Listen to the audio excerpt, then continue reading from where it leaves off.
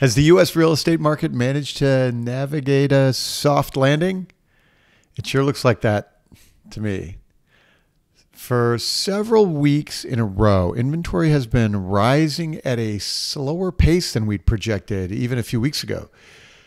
In fact, we probably should revise lower our projection for where available inventory finishes 2022 the the economy has been strong and unemployment is remarkably low. So even with a shrinking GDP, the American homeowner is in in great shape. There's no panic selling.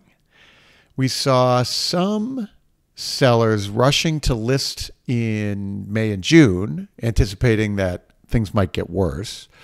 Um, and I'm hearing from anecdotes from, from brokers around the country with, with stories about that. But that only means that those who rush to sell in May and June implies that inventory will grow less quickly this fall because they've already sold. Uh, these dynamics are what we're watching in this week's Altos Research Market video. Every week, Altos Research tracks every home for sale in the country. We analyze all the pricing, all the supply and demand, all the changes in that data, and we make it available to you before you see it in the traditional channels. If you aren't using Altos market reports with your clients, your buyers and sellers right now, it might be a good time to step up.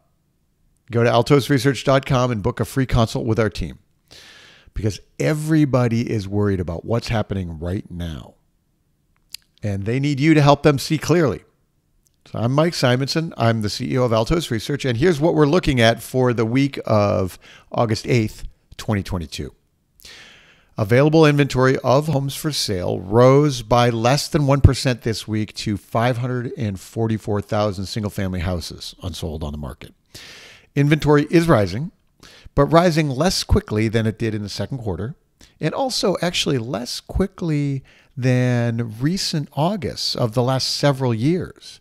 So in June this year, inventory was rising 68% per week. In July, it was 3 to 4% per week. This week was less than 1% inventory gains.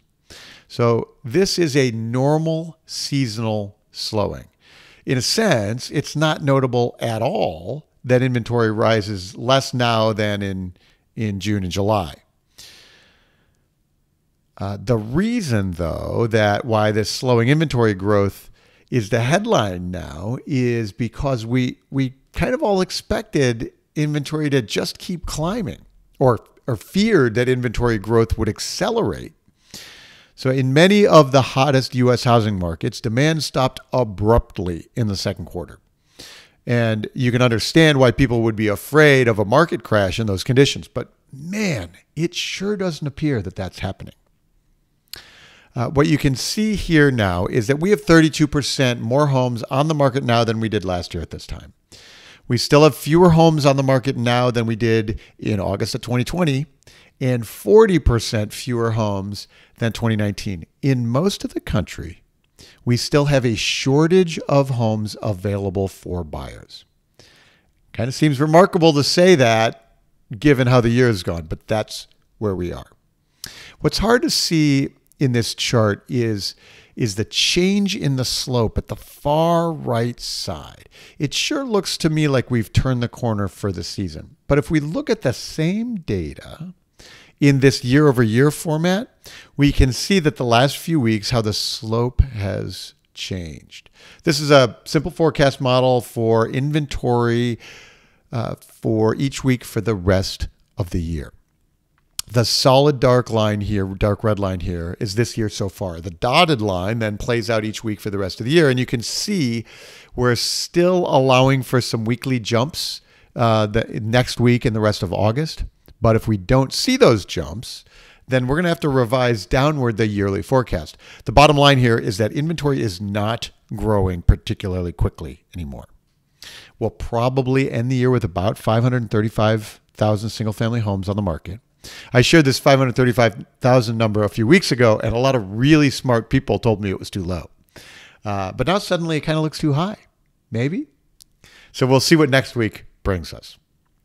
Uh, by the way, this week we have our August webinar on Thursday, August 11th at 10 a.m. Pacific. In it, we'll spend more time on this surprising change in the inventory trend and what to expect for the rest of the year. If you have buyers and sellers who are trying to figure out and navigate this market this fall, you should join us. Uh, one thing to note, which we'll get uh, an opportunity to spend time on, is how many local markets are behaving differently. We'll check on some of those markets, some of those really hot ones. We'll see if they look better or worse than the national average right now. Uh, if you're having these conversations with your clients, click the registration link in the description below. Join us Thursday, this Thursday, August 11th, 10 a.m. Pacific, for the hour long webinar. We dive into all the data. Uh, so you can see the slowdown in the inventory growth in our immediate sales tracker. Note the sharp drop in new listings and the immediate sales volume after the 4th of July holiday this year. You can see the far left, the last few bars in the far left, uh, far right side of the chart here. Uh, I pointed out that the immediate sales are the defining characteristic of the pandemic housing boom. But since that 4th of July holiday, you can see this abrupt drop in new listings and the drop in those that go into contract immediately. So, demand, you can see the demand slowing, but you can also see the supply pulling back. So, the dark part of each bar here are the listings that stay on the market more than a few days. That's the normally what new listings look like. The light part are the part that go into contract essentially immediately. Only 16,000 of those this week. And you can see how they've dropped very, very abruptly as we rolled into July and now August. Meanwhile, home prices are holding firm. Uh, that's another sign that the market may be navigating a soft landing. The median price of single family homes in the U.S. is just under $450,000 this week. That's roughly where it's been for a month the price of the new listings is down to 399,900 this week, and that decreases looks like mostly seasonal action. The see the light red line here. Each each year the the new listings price moves back in the late summer and fall, which we see right now. Uh, percentage wise, the price of new listings has not retreated that much. It's not unusual. Uh, and you can see that we're well past the insanity of the beginning of the year where, where the light red line was spiking so quickly each week. So this implies that while the most like the, the most egregiously overpriced homes, those are not selling, and we're not seeing those like get those sellers try to try, time the market that way. But in general, sellers and buyers are finding equilibrium in most parts of the country right now. Uh, it looks like we're seeing a slowdown in the growth of price reductions too. So more homes are cutting their price each week. Uh, the time to sell a home is climbing, of course, from record few, record low time to to climbing back to normal. And so price reductions always climb as the days on market climb, and they climb this time of year. Price reductions always climb in the third and and fourth quarter before settling back. So as the market shifted, many sellers were surprised and had to cut their asking prices very quickly. Uh, and so we had this big, steep increase in price reductions from the record lows to, to the highest, actually highest number in years. Uh, and I expect that by September, the rate cut, the, the rate of price reductions will have leveled off though. So that's the dark red line here. That's this year and we'll have 40 something percent of homes on the market with with price reductions by by September. Um, that's a lot compared to recent years, but it's not frighteningly high. Uh, and if this dark red line were still going vertical each week, that would be alarming. But it looks like it's starting to slow down just a bit. So we're currently at, at almost 38% of the market has had a price cut. Next week, we'll see 39 then 40%. So sometime in October, we'll probably hit that peak before resetting for the holidays. Uh, but it doesn't look like it's going to 50%, for example.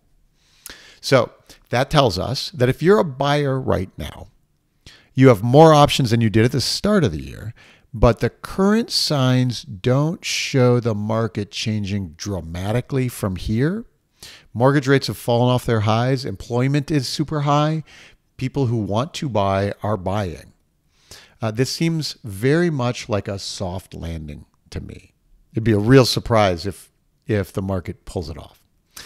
So we'll take the full hour on Thursday to discuss these trends and much more.